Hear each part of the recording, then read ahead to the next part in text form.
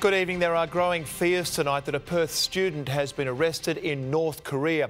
29 year old Alek Sigley has been studying in Pyongyang running guided trips for foreign tourists, but now he's disappeared.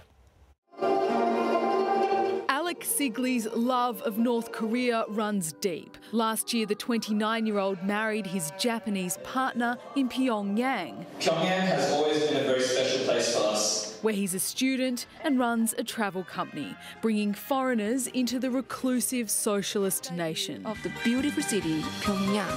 Blogging and tweeting about his life inside the so called Hermit Kingdom, he keeps in regular contact with his family in Perth. But disturbingly, they've heard nothing since Tuesday morning. There are unconfirmed reports he's been arrested, his potential crime unknown. His family have asked for privacy as Australian authorities desperately try to find him. There's obviously some uh, complications in uh, providing consular assistance uh, into uh, North Korea. We work uh, through uh, the Swedish government. Help is limited as we don't have an embassy in North Korea. Alek is believed to be the only Australian in the country. The Department of Foreign Affairs urges others not to go.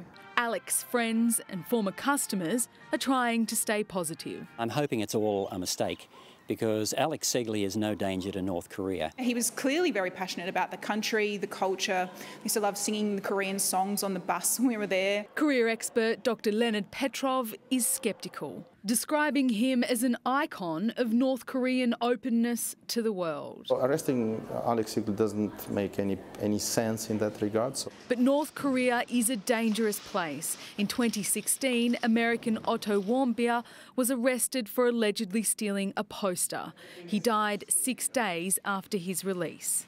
Kerry Yaxley, 9 News.